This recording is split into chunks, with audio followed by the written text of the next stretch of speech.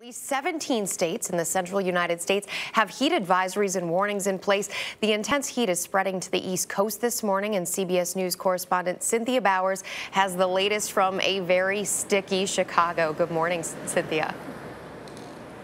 Good morning. I woke up and it felt like 94. Our heat index today could be 105. People in the Midwest, though, are talking a lot about the dew point. That's the actual measure of water vapor in the air. Yesterday, Minnesota set an all-time record for a dew point of 86 degrees. That steaminess is comparable only to that of the Brazilian rainforest.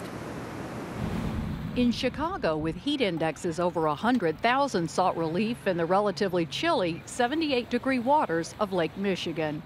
In Oklahoma, there's no place to hide.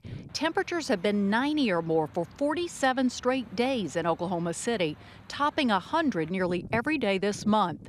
The governor asked for a statewide day of prayer in the hopes of divine intervention.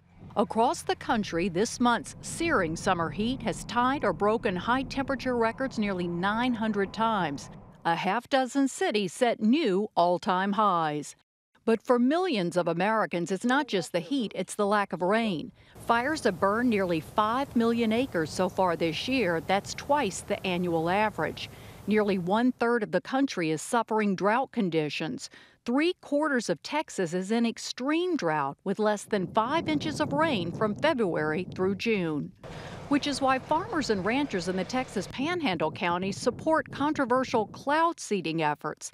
That's injecting silver iodide into rain clouds to get them to produce more rain. They're very supportive of our program and they they obviously think it works. So if it was not effective, we probably wouldn't have the program. But critics say cloud seeding has harmful consequences, creating rain that's toxic to humans and the environment.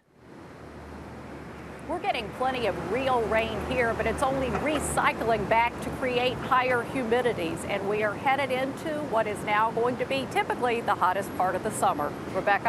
CBS's Cynthia Bowers in Chicago bearing the heat for us. Thanks, Cynthia.